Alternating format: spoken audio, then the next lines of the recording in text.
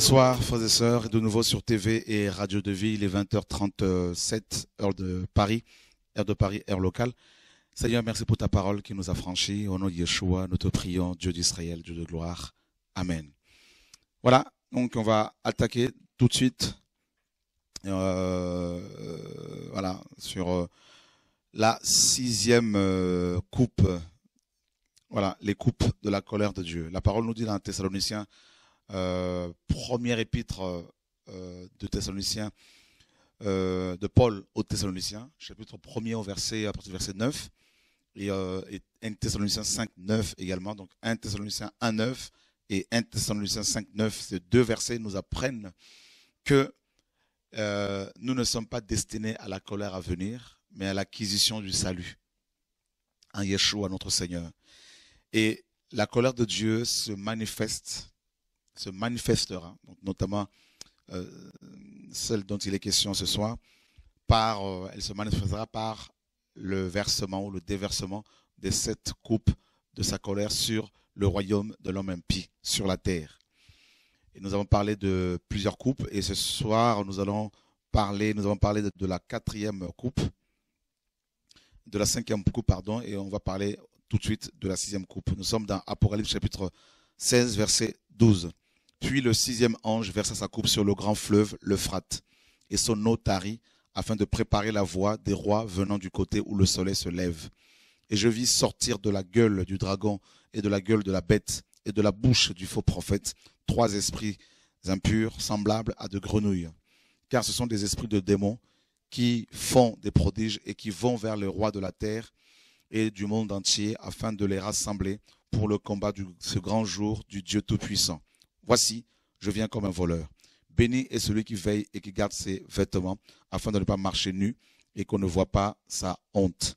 Et ils les assemblèrent dans le lieu qui est appelé en hébreu Armageddon, la, sixième coupe va préparer les nations à la troisième guerre mondiale, l'Armageddon. Et euh, donc on va d'emblée aller voir euh, une carte, hein, une carte de l'Euphrate, ce fleuve. Alors, la dernière fois, euh, on vous a montré une, autre carte. Au lieu de vous présenter, de vous montrer la carte de l'Euphrate, on vous a montré la carte du Jourdain. Donc il y a eu une petite erreur et euh, veuillez nous, nous en excuser. Donc l'équipe va nous aider tout de suite pour nous montrer la carte de l'Euphrate, ainsi que les pays qui sont autour de euh, euh, ce fleuve. Et ce, fleuve, ce fleuve, on le voit pour la première fois dans Genèse. Et, et voilà. Alors là, vous avez l'Euphrate. Et regardez bien les pays qui sont au bord, hein, autour de ce, de, de, ce, fleuve vous avez, euh, vous avez l'Irak, vous avez la Syrie, vous avez aussi euh, la Turquie. Voilà. Et, euh, et ce sont bien sûr des nations musulmanes. Et qu'est-ce qu'on peut comprendre par là? Parce qu'on nous dit que quand le, la sixième coupe sera versée, eh ben, l'eau de l'Euphrate va tarir pour préparer la voie des rois venant du côté où le soleil se lève. Et quel est ce côté-là? Eh bien, c'est l'Est, tout simplement. L'Est. Et les pays qui sont à l'Est de, euh, d'Israël, on va rapidement nous les montrer. Les pays qui sont à l'Est, à, l'Est, pardon, on en a déjà parlé. Il y a, euh, euh, la Jordanie. Hein, la Jordanie d'abord. Et la Jordanie est un royaume. On en a, parlé hein, la dernière fois quand on a parlé de la sixième trompette. Donc là, c'est juste un rappel, parce que l'enseignement a déjà été, a été apporté. Et là, les pays de l'Est d'Israël sont d'abord la Jordanie, donc c'est un, royaume. Et là, on a sur la carte la Jordanie en, vert. C'est un, grand royaume hein, à l'est d'Israël. Et euh, donc, ça veut dire qu'il y a une armée qui viendra de là, qui viendra de là. Mais ce sera une, une, armée, euh, une grande armée avec plusieurs soldats. On va le voir tout à l'heure. Et, il y a un deuxième, un autre pays hein, qui se trouve à l'est d'Israël. À l'est d'Israël, c'est la Cisjordanie. Il y a la Jordanie et il y a la Cisjordanie. Et la Cisjordanie, et, selon certains historiens, et, euh, étaient constitués des peuples euh, euh, historiques, hein, comme les Ammonites, les Moabites et les Édomites. Voilà, les Ammonites et les Moabites et les, étaient des ennemis hein, jurés des Juifs. Donc l'histoire se répète. Les Ammonites et les Moabites étaient les descendants de Lot. Lot, neveu d'Abraham, a eu des rapports, euh, a, eu des rapports intimes avec ses deux filles qui ont donné naissance à Ammon et à Moab. Et les Moabites ainsi que les Ammonites attaquaient beaucoup, combattaient beaucoup les enfants d'Israël. Et euh, les Juifs ont eu, les Hébreux ont livré plusieurs batailles contre ces deux peuples. Et d'ailleurs, euh, Dieu avait carrément interdit et, euh, aux Moabites euh, d'accéder hein, euh, à l'assemblée hein, des enfants d'Israël jusqu'à au moins la dixième génération. Voilà. Donc, ils ne pouvaient pas avoir accès à la à l'assemblée de Yahweh. Pourquoi? Parce que ils avaient attaqué les enfants d'Israël. Voilà. Donc, et et là, les Édomites sont les descendants d'Ésaü. Ésaü était le frère, hein, il était frère de, Jacob, et il a également beaucoup, beaucoup, les Édomites, hein, ses descendants, avaient beaucoup combattu contre les Hébreux. Donc, les Ammonites, les Moabites, ainsi que les, les Édomites, selon euh, certains historiens notamment, euh, étaient ce peuple historique qui avait établi leur capitale en Jordanie.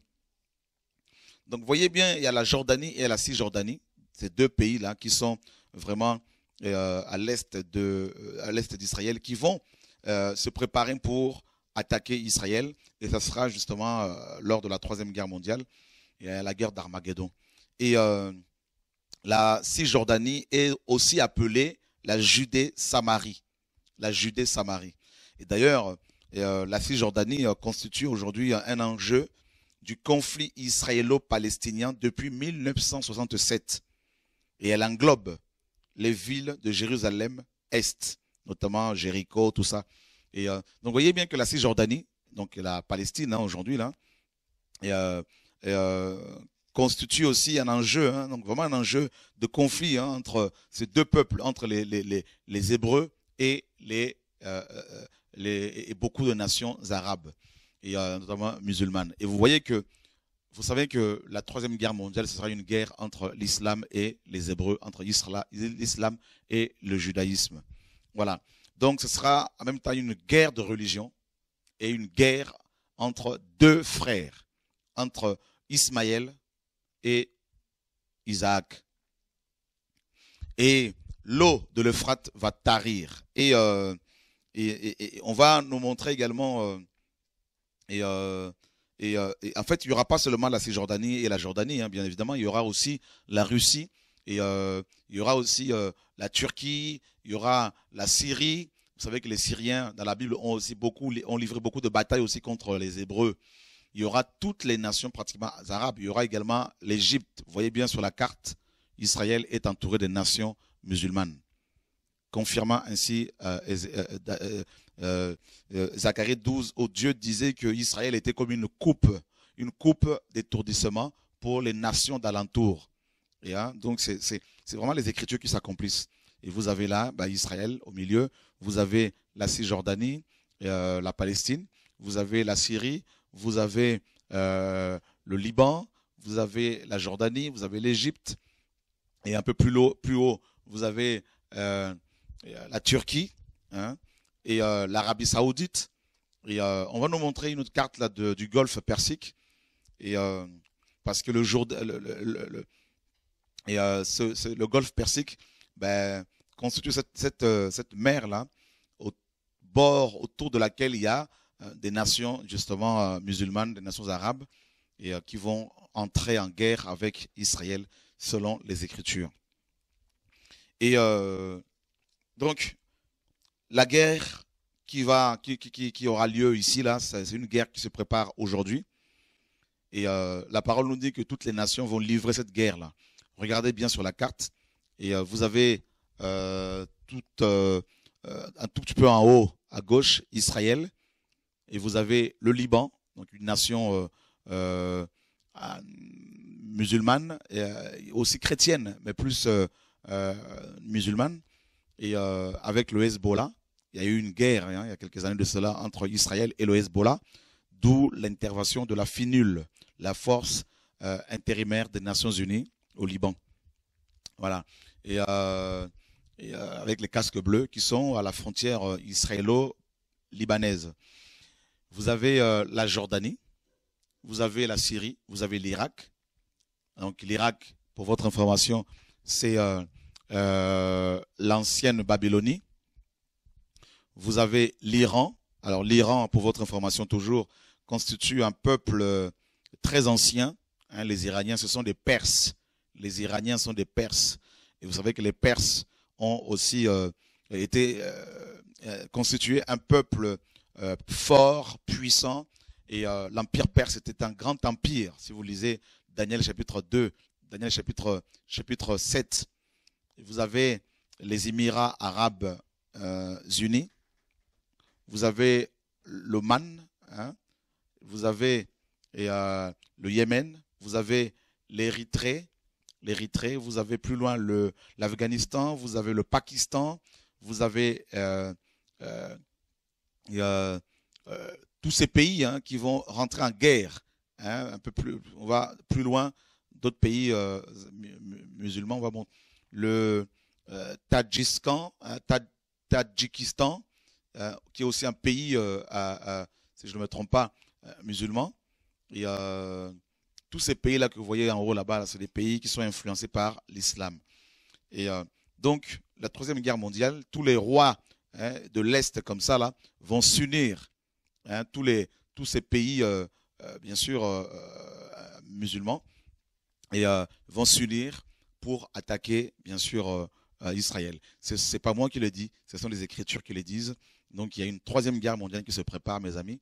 Et vous savez que la plupart des nations, euh, des nations musulmanes sont euh, soutenues par la Russie. La Russie, c'est Gog et Magog. Et par la Chine également, parce que la Chine est un partenaire, euh, et les Chinois sont des partenaires très très fidèles de la Russie. Voilà, et puis on va essayer d'aller encore un peu plus loin au niveau de la carte, aller un peu vers, plus vers la gauche. Voilà, on va monter un peu vers euh, la Turquie. Donc vous avez euh, euh, la Syrie, vous avez la, Turquie, hein, qui, constitue une grande nation aussi. Hein, les Turcs, l'Empire ottoman était un, grand empire aussi. Donc tout ça tous ces esprits vont se réveiller et ça va être une guerre terrible, une guerre qui va englober toutes les nations. Parce que les nations arabes, les nations musulmanes, avec le pétrodollar, hein, euh, tous ces pétroles, tout cet argent euh, amassé, et euh, depuis des siècles, depuis des siècles, avec le, pétrole, eh ben, toutes ces nations-là, mes amis, vont mettre cet argent en jeu et pour anéantir, bien sûr, Israël. Nous avons l'Égypte, nous avons la Libye, hein, au niveau de l'Afrique, par exemple. ces, toutes ces nations vont rentrer en guerre. Vous avez le Soudan. Hein, vous avez euh, l'Érythrée, vous avez euh, le Soudan du Sud, le Soudan du Nord, vous avez le Tchad et euh, tous ces pays musulmans. Vous avez aussi beaucoup de musulmans en Centrafrique. Et on va tourner, on va tourner un peu la, Somalie, bien sûr. il y a l'Éthiopie aussi. Et l'Éthiopie étant une nation chrétienne. Et voilà, on va monter encore un peu plus au niveau de l'Europe. Voilà, c'est pas grave. Voilà, donc vous voyez, donc Israël est vraiment au centre du monde, si vous regardez bien sur les cartes. Donc cette partie du globe là euh, constitue vraiment un enjeu hein, majeur hein, hein, sur le plan géopolitique. un enjeu majeur, un enjeu majeur par rapport à la, à la, troisième hein, guerre mondiale qui se profile sous nos yeux. Alors, cette guerre va impliquer les nations. Ça va être le paroxysme de la haine du serpent contre la femme. Vous savez, Genèse 3.15 nous dit que Dieu euh, avait mis, euh, Dieu avait dit qu'il allait mettre inimitié entre la femme et sa postérité, entre la femme et le serpent, pardon, et entre la postérité du serpent et celle de la femme. Et, euh, cette, haine, cette inimitié qu'il y a entre la femme Israël et le serpent, le diable, cette inimitié va, n'est-ce pas, se matérialiser lors de la guerre d'Armageddon. Cette inimitié, cette haine va trouver son paroxysme, son apogée lors de cette guerre. Il y a toujours eu des guerres, mais cette guerre sera particulière, justement. Regardez ce que Luc chapitre 21 nous dit. Luc chapitre 21. Nous lirons à partir du verset 20. Donc on reste sur la carte, a pas de problème. Luc 21, donc je vais lire pour vous, à partir du verset 20. Et quand, et quand vous verrez Jérusalem environnée par les armées, sachez alors que sa désolation est proche. Quand vous verrez Jérusalem environnée par les armées, sachez que sa désolation est proche.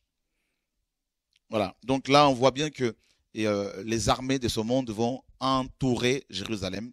Verset 35.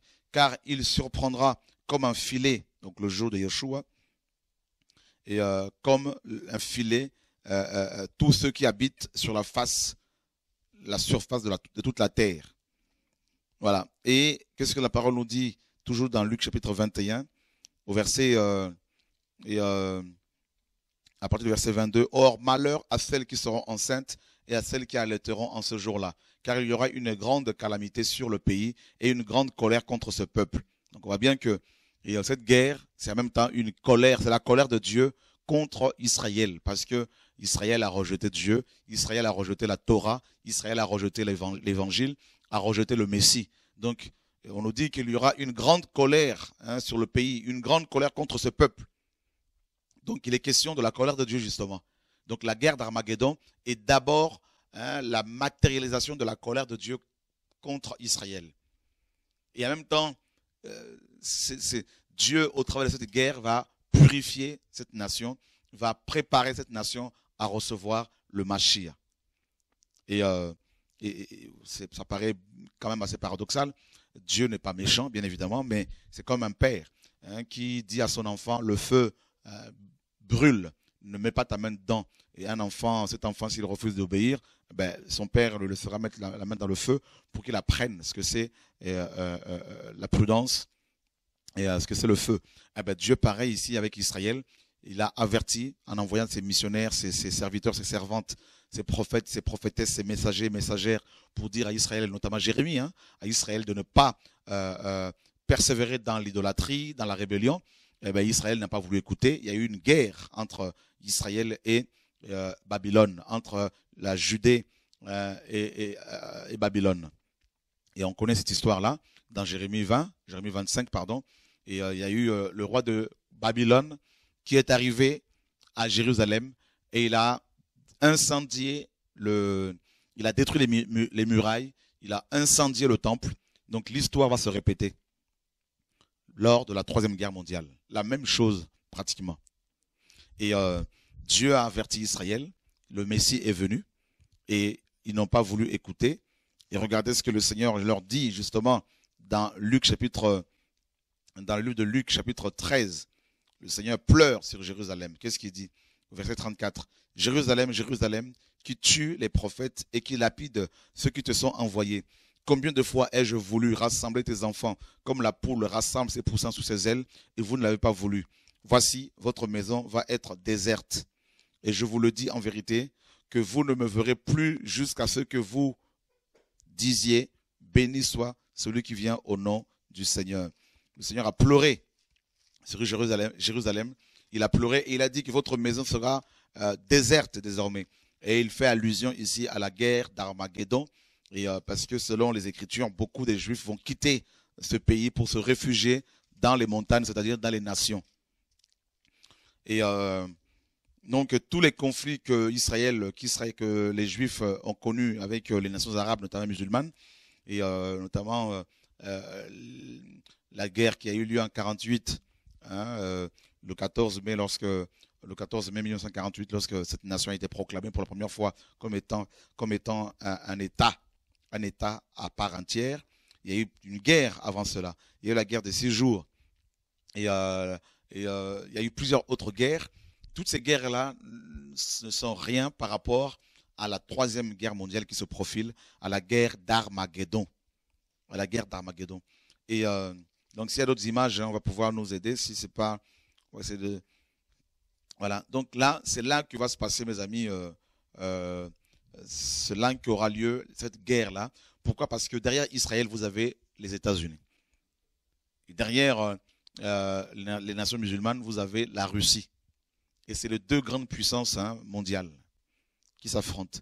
Mais d'après les Écritures, Israël va être abandonné par les États-Unis parce qu'on nous dit que toutes les nations vont euh, se rassembler pour faire la guerre. Et on nous dit que ce sont des démons, des démons qui vont vers les rois de la terre pour les rassembler, afin de livrer la guerre à Israël. Et ça va être terrible. Et euh, mes amis, que le Seigneur nous garde, que le Seigneur nous protège. Et vous avez vu euh, à l'ouverture lorsque la, au retentissement de la sixième trompette, on nous dit que alors le sixième ange sonna de sa trompette, j'ai entendu une voix sortant des quatre cornes de l'autel d'or qui est devant Dieu et qui disait au sixième ange qui avait un sixième ange qui avait la trompette, délie les quatre anges qui sont liés sur le grand fleuve l'Euphrate. On délia donc les quatre anges, ce sont des démons on délia ces quatre anges qui étaient prêts pour l'heure, le jour, le mois et l'année, afin de tuer le tiers des hommes. Donc pendant cette guerre, pendant cette guerre, pendant la guerre d'Armageddon, il y aura un, tiers, le tiers de la population mondiale qui sera décimé. Pour vous dire que c'est terrible. Nous sommes présentement combien de milliards d'individus? Nous sommes, selon euh, les historiens, selon euh, les gouvernants de ce monde, nous sommes 7 milliards à peu près aujourd'hui. Vous vous imaginez, frères et sœurs, que plus de 2 milliards de personnes mourront pendant la guerre d'Armageddon. Près de 2 milliards. C'est énorme. Énorme. Énorme. Donc, la troisième guerre mondiale va tuer, tuer beaucoup plus de gens que toutes les guerres hein, réunies depuis que le monde est monde. Et la parole est claire. Les quatre anges qui étaient liés sur le fleuve l'Euphrate, ce sont des démons. Parce que les anges de Dieu ne sont pas, les anges de Dieu ne sont pas liés. Ce sont des démons. Et ces démons-là, avec les armées qui vont les accompagner, regardez bien, ils vont tuer le tiers des hommes. Le nombre de cavaliers de l'armée était de 200 millions, car j'en entendis le nombre.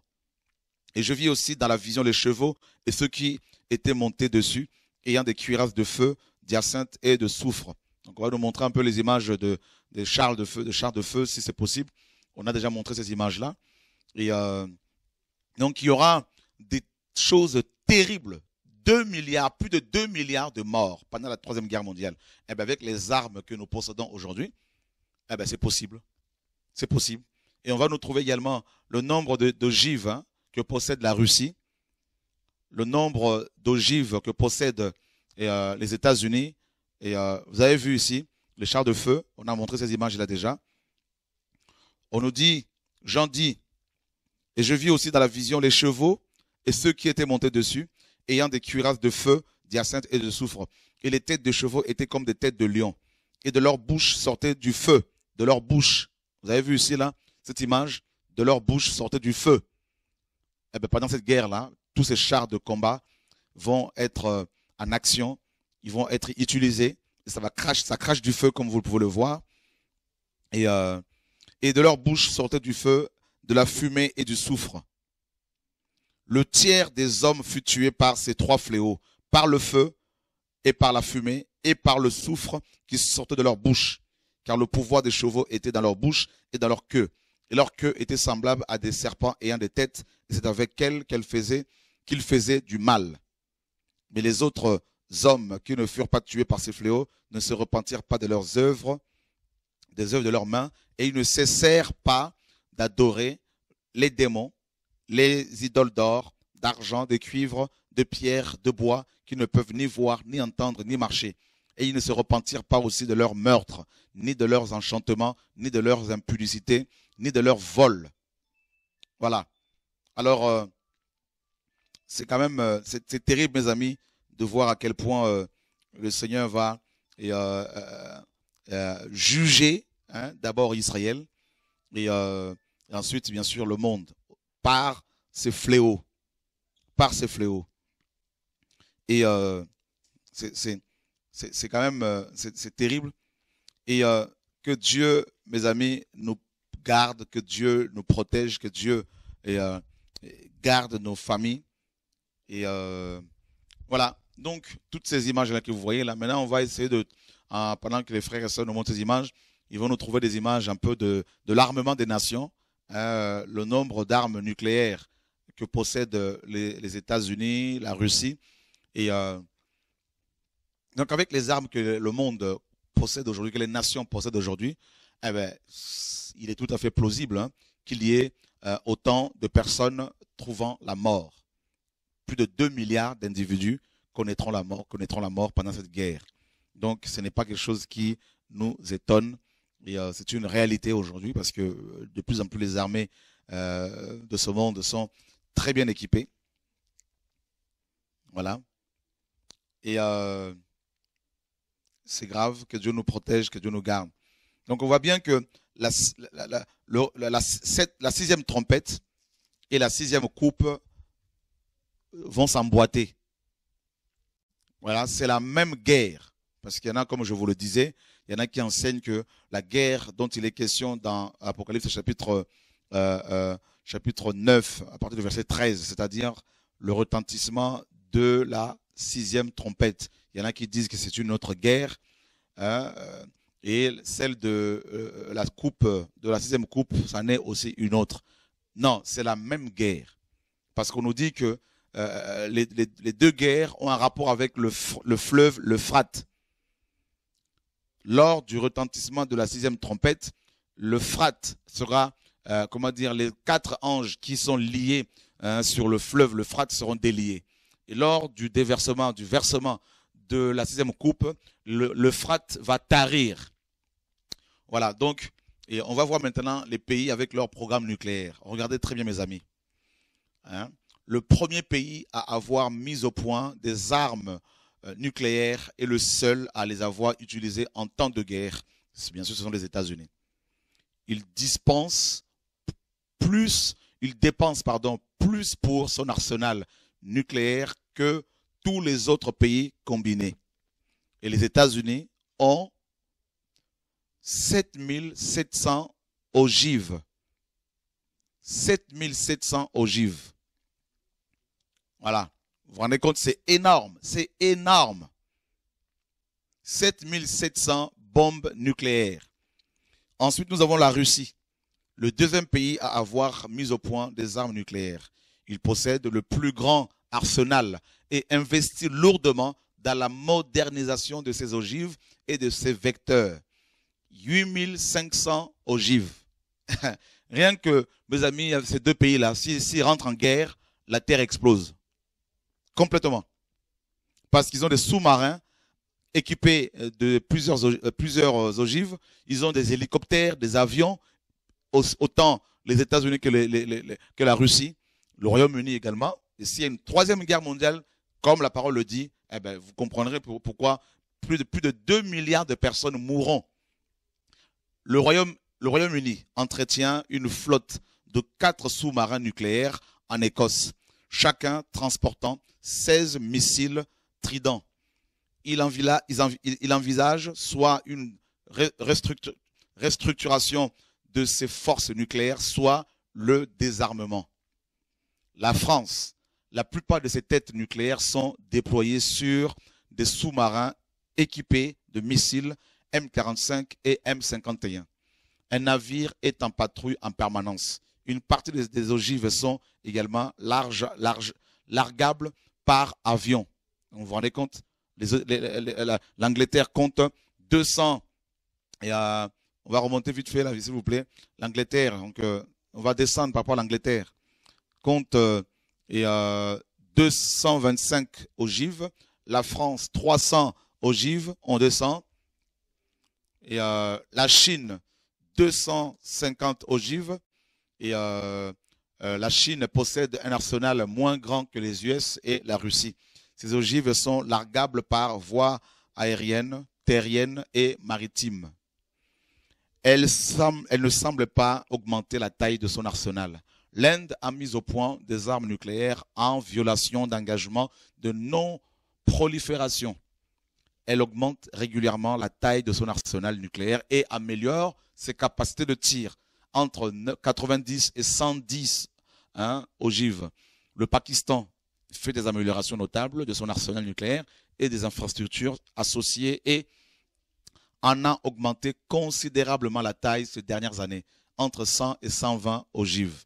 Israël a une politique d'ambiguïté en ce qui concerne son arsenal nucléaire, non confirmant ni n'infirmant son existence. Ainsi, il y a très peu d'informations publiques ou de débats à ce sujet. 80 ogives à peu près, c'est une estimation. Vous avez la Corée du Nord, n'est-ce pas, qui a euh, la Corée, du Nord, la du Nord a un embryon de programme nucléaire. Son arsenal comprend probablement moins de 10 têtes.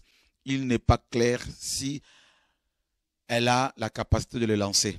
Donc à peu près 10 ogives. Vous avez au total 17 300 ogives. C'est-à-dire 17 300 bombes nucléaires et on en a lâché, les Américains en avaient lâché deux à Hiroshima et à Nagasaki, je crois. Et vous avez vu les dégâts? Des dégâts jusqu'à ce jour.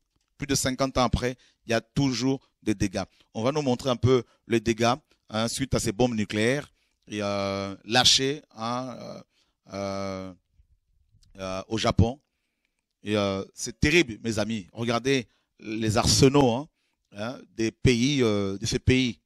Alors imaginez, la Russie soutient les nations arabes et, musulmanes avec le pétrodollar. Même les Américains, hein, les Américains aussi font la courbette. Hein. Ils font aussi allégeance euh, aux nations euh, arabes, notamment à l'Arabie saoudite. Hein. les Américains, ça tout le monde le sait, est une nation euh, qui, fait aujourd'hui allégeance, à, cette nation, musulmane, à l'Arabie saoudite à cause du pétrodollar, au Koweït. Donc, vous voyez bien qu'à un moment donné, ils seront obligés, les Américains seront obligés de rejoindre euh, cette grande coalition euh, euh, internationale contre Israël. Vous voyez? Et ça va être une guerre terrible, une guerre qui va, qui va détruire beaucoup de vies, beaucoup de villes. Et, et voilà, donc il faut se préparer. Nous sommes de plus en plus, nous assistons à de plus en plus à la prolifération des armes euh, de destruction massive et euh, des armes chimiques, parce que là on a parlé juste des armes nucléaires, mais des armes chimiques euh, et climatiques hein, pour provoquer le changement de climat, pour provoquer, n'est-ce pas, des orages, hein, des tornades. Ils, sont arrivés à fabriquer ces armes-là. On va nous essayer de nous le retrouver. Hein. Regardez un peu, mes amis, les conséquences de, de, cette bombe atomique. Ça rase tout et il y a bien sûr, euh, euh, regardez un peu les, effets hein, destructeurs de cette bombe. Non seulement que tout euh, sur un certain nombre de kilomètres, hein, donc tout est rasé, tout est rasé sur plusieurs kilomètres, mais il y a aussi euh, cette pollution, hein, les effets euh, euh, plusieurs autres conséquences, hein, telles que des, maladies, des cancers. Vous avez avec l'explosion de de cette centrale nucléaire en, Ukraine, hein, ce que ça a provoqué, plus de 30 ans, je crois, après, il y a toujours les amis, euh, cette contamination, la terre est contaminée et, euh, des, gens sont frappés, des gens sont malades et ça va être une guerre terrible. Regardez-moi le champignon là, de cette euh, bombe là, quand elle est lâchée, mes amis. les dégâts sont terribles. Terribles. Jusqu'à ce jour, hein, au Japon, à Hiroshima, il y a encore des enfants qui naissent avec des malformations physiques. Et voilà. Donc, euh, et il y a des armes euh, biologiques, des armes chimiques, des armes, armes nucléaires. On va nous montrer un peu les armes, les armes aussi climatiques. Hein. le projet ARP que les Américains ont développé pour provoquer des tremblements de terre. Et euh, voilà, nous sommes dans un monde de fous, un monde de malades. Donc la troisième guerre mondiale se profile. Le Seigneur a dit hein, qu'il allait y avoir des guerres et de tremblements de terre. Et vous savez que quand il y a une guerre quelque part, ben, la guerre amène aussi son lot hein, de misère, son lot de problèmes, notamment euh, la famine. Hein, la famine. Et euh, il n'y a, pas que la famine, il y a aussi la pollution des eaux il y a, de la, euh, ben, des troubles, de la confusion, tout ça. Donc ça va être terrible la troisième guerre mondiale. Ça va être terrible. Alors le Seigneur dit dans 1 Thessaloniciens 5, quand les hommes diront paix et sûreté, c'est alors qu'une voilà, ruine soudaine, on va, je vais lire ce passage pour vous. Et euh, le projet ARP, c'est H-A-A-R-P.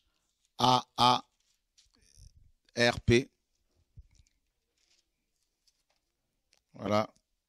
C'est des informations qui me viennent comme ça à l'esprit. 1 Thessaloniciens 5. Pour ce qui concerne euh, les temps et les moments, mes frères, vous n'avez pas besoin qu'on vous en écrive, puisque vous savez vous-même très bien que le jour du Seigneur viendra comme un voleur dans la nuit. Quand ils diront, nous sommes en paix et en sûreté, alors une destruction soudaine les surprendra comme les douleurs de l'enfantement surprennent la femme enceinte et ils n'échapperont pas. Quand ils diront nous sommes en paix et en sûreté, littéralement, lorsqu'ils vont créer un organisme euh, prônant la paix. Et effectivement, euh, il y a l'ONU, hein, l'Organisation des Nations Unies, euh, qui est un organisme créé par les hommes dans le but de prôner de promouvoir la paix sur Terre. Eh bien, il n'y a pas la paix depuis que cet organisme a été mis en place. Et euh, lors de la première, euh, à l'issue de la première guerre mondiale, les nations ont, quelques nations ont créé ensemble la Société des Nations. Et cette Société des Nations n'a pas pu éviter, euh, n'a pas pu, mes amis, faire éviter au monde la Deuxième Guerre mondiale. Après la Deuxième Guerre mondiale, ils ont n'est-ce pas, changer cette société pour la transformer en l'ONU. Et malgré cela, il y a toujours des problèmes. Il y a des casques bleus, par exemple au Congo RDC dans l'Est, il y a près de 20 000 soldats euh, de, casques, euh, de, l'ONU, hein, donc les casques bleus. Il y a toujours des conflits là-bas, des femmes sont violées, des enfants sont violés, des, couples sont détruits, des populations sont déplacées. Et pourtant, c'est le contingent le plus important de l'ONU au monde dans l'est de la, de, la, de la RDC Congo. Vous voyez bien que c'est, tout ça, là, c'est de la fumée aux yeux du Seigneur. C'est, ça n'apporte pas la paix. Hein. Il y a toujours des conflits, toujours des problèmes. Et euh, donc, euh, qu'on arrête un peu de nous mentir, qu'on arrête un peu de nous rouler dans la farine. Et euh, seul le prince de paix pourra apporter la paix à ce monde de confusion, de malheur, de troubles. Alors ici, les images que vous avez là, ces images, cette image, c'est le projet ARP. Le projet ARP, est un projet américain à la base qui a été développé par des scientifiques américains pour le changement de climat.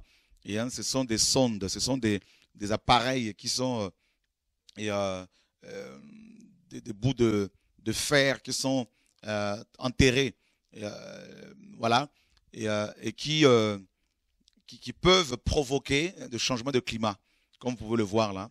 Ils peuvent et avec ce matériel ils peuvent euh, changer hein, des climats, ils peuvent amener la pluie, ils peuvent euh, amener les orages et euh, des tremblements de terre. Et pour vous montrer à quel point, vous voyez à quel point l'homme est devenu malade, l'homme est devenu dangereux. Voilà. Donc, le Seigneur est en train de revenir, mes frères. Le Seigneur ne va pas laisser le monde euh, être, il va pas laisser ces hommes détruire la terre. Mais en tout cas, et euh, quand on voit tout ça, on comprend vraiment pourquoi le Seigneur est en train de nous interpeller tous, pourquoi il nous demande de nous réveiller, de nous préparer pour son retour? Alors chrétiens, voulez-vous continuer à, suivre vos pasteurs qui ne vous parlent pas de l'enlèvement de l'Église, qui ne vous parlent pas de la sanctification, qui ne vous parlent pas de, retour de Yeshua, qui ne vous parlent pas de la nouvelle Jérusalem, qui ne vous parlent pas de ce que le monde vit, ce que le monde connaît aujourd'hui, de ce qui se passe qui passent leur temps à vous parler de démons, démons, démons, démons, démons, combattre, combattre, combattre, combattre, qui sont en train de vous parler de ministère, ministère, ministère, ministère, qui sont en train de vous parler de la dîme, donnez, vous serez bénis, donnez, vous serez bénis. Il faut quitter ces assemblées-là. Voilà, quitter ces assemblées-là. Et euh, vous voyez ce projet-là, toutes ces, euh, comment ils ont, euh, ils mettent en place, mes amis, ces, armes. Ça, ce sont des armes qui, ça, provoque des ondes, il lance des ondes, il lance des ondes magnétiques et ça, déstabilise le climat. Et euh, voilà ce que l'homme est capable de faire aujourd'hui. Voilà. Et euh, donc, euh, on va montrer les images, les effets pour les enfants peut-être qui sont là. Il faudrait peut-être les déplacer. Les effets sur le corps hein, des, de, des bombes ou de, nucléaire, atomique, tout ça. Si on peut trouver des, images là. Voilà. C'est terrible ce qui se passe. Dieu est celui qui nous avertit. Voilà. Donc les quatre anges qui étaient liés sur le fleuve, le fleuve l'Euphrate, sont déliés au retentissement de la sixième trompette qui a déjà eu lieu, qui a déjà retenti. Et au déversement, au versement de la sixième coupe, eh bien, l'Euphrate va tarir pour préparer le chemin, préparer le chemin. Hein, c'est 200 millions de soldats, hein, c'est-à-dire l'armée de l'Antichrist. Il y aura des Chinois, il y aura des, Américains, il y aura des Français, il y aura des, Européens, des Africains, il y aura euh, les, Chinois, les Japonais, il y aura toutes les nations. Et l'Antichrist sera devant et ils vont attaquer Israël. Et ce sont les démons qui vont les rassembler. Et Dieu dit dans Zacharie 14, il dit, je rassemblerai toutes les nations pour qu'elles fassent la guerre à Jérusalem. Voilà. Et, Joël 3 nous parle aussi de cette guerre. Michée 4, 11 nous dit euh, que les nations se sont rassemblées contre toi. Et elles ne connaissent pas le, dessein du Seigneur. Elles ne savent pas que c'est lui qui les a rassemblées. Voilà les effets, l'image que vous avez là. Voilà les effets chrétiens sur le corps humain hein, de la bombe atomique. Vous voyez ça? Comment cet homme est, déformé. Hmm? Ça, c'est des choses qu'on ne vous montre pas. Vous voyez sur le corps humain les effets de cette bombe?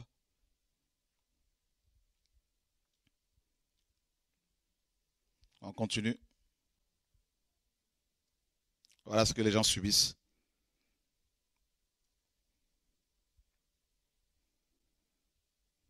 Voilà, de quoi l'homme est capable.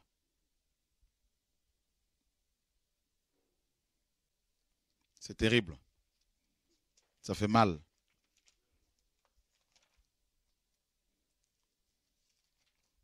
Regardez-moi regardez ces vies détruites.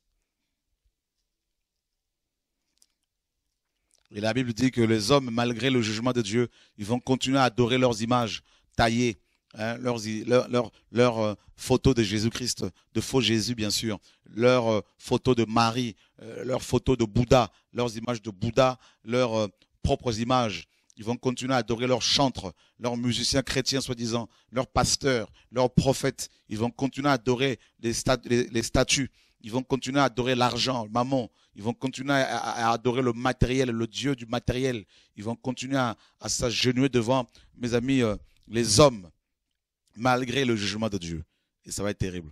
Et, pendant qu'on nous montre les images là, euh, je voudrais vous dire que demain soir, on va finir avec euh, l'enseignement sur le coupe, euh, les sept coupes de la colère de Dieu. On va parler de la septième coupe. Là, on va parler de Babylone.